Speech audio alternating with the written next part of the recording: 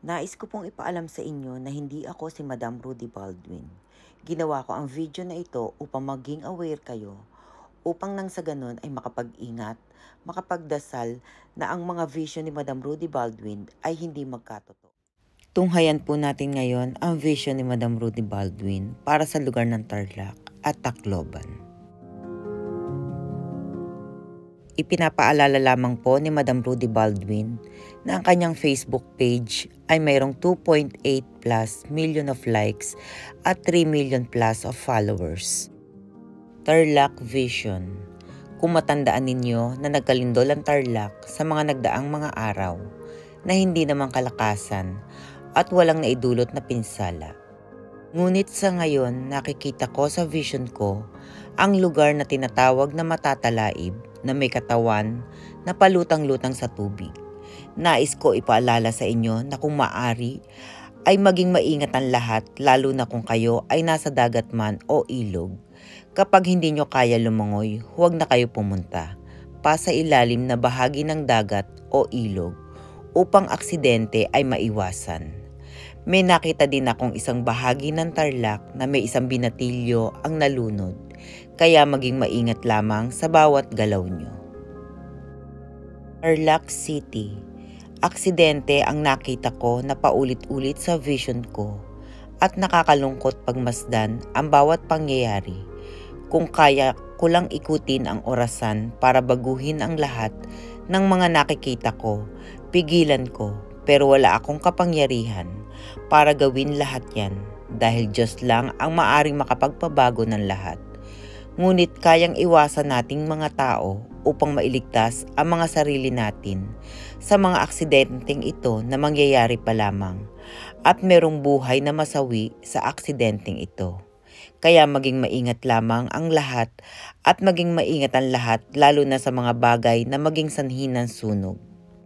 Dahil kahit apoy ay nakikita ko sa vision ko sa Tarlac na mangyayari pa lamang. Cart City Tarlac sa lugar na to halos sunog na magkakasunod lamang at nakita ko din sa vision ko ang malaking sunog na mangyayari sa Cart City. Pero nakakalungkot lang dahil biglaan ito mangyari at mabilis kumalat ang apoy kaya maging maingat lamang ang lahat upang ang sunog ay maiwasan, lalo pang malapit na ang Pasko. Maging maingat lalo na sa mga kuryente nyo dahil ang sunog dyan ay halos sunod-sunod. At dito sa Cart City, may aksidente din dito pero hindi katulad sa Tarlac City na halos sunod-sunod. Maging maingat ang lahat. Tarlac, nakikita ko sa vision ko na may malakas na lindol na mangyayari pa lamang sa lugar nyo. Hindi lang isa ito makaramdam kayo ng may kalakasan at malakas. Hindi ko kayo lahat tinatakot at hindi ko din kayo lahat sinabihan na paniwalaan ako.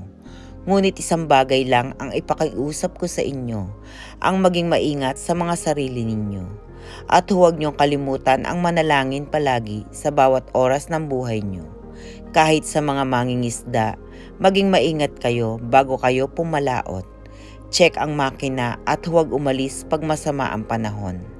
Isang gusali na may magandang history sa Tarlac ang masunog nang hindi nyo lahat inaasahan. Maging maingat lamang ang lahat ng mga tao sa Tarlac upang lahat ng ito ay hindi mangyari at maiwasan natin lahat.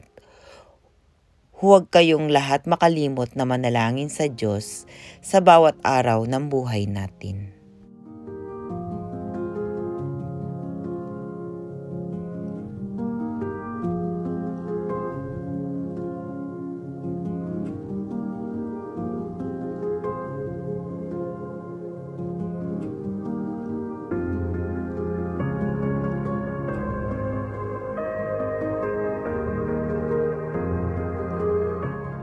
Globan Vision. Dagdagan ko lang post na ito. Lahat ay mangyayari pa lamang, kaya maging maingat at bigyan ng oras ang bawat grupo ng pamilya.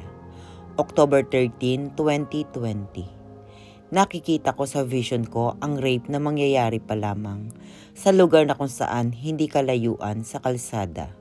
May nakita akong taniman ng palay at hindi kalayuan sa sakayang pampasahero Maging maingat lamang sa lahat ng mga kabataan. Laging makinig sa payo ng mga magulang. Mga magulang, bantayan nyo mga anak nyo. Huwag nyo basta ipagkatiwala kahit kanino. Lalo na sa mga taong hindi nyo kilala. Dahil sa vision ko, hindi lang isang rape ito kundi dalawa. Sa ibang lugar ang isa, ngunit sakop pa din ng Tacloban. Nakikita ko din sa vision ko ang suicide at matamaan ng kidlat. Maging maingat lamang ang lahat lalo na pag ang panahon ay hindi maganda. Sa lahat ng mga driver na nagmamaneho, maging maingat sa pagmamaneho. Huwag magmadali nang hindi mawala ng preno. Dahil sa pagsalpukan may buhay na nawala. Nakikita ko sa vision ko ang lindol na malakas at may kalakasan na sa isang araw hindi isang lindol lang ang yumanig maging maingat at huwag makalimot na magdasal palagi.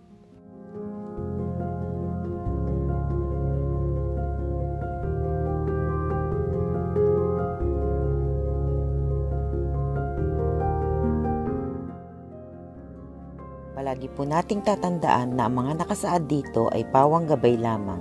Tayo pa din ang gagawa ng ating kapalaran.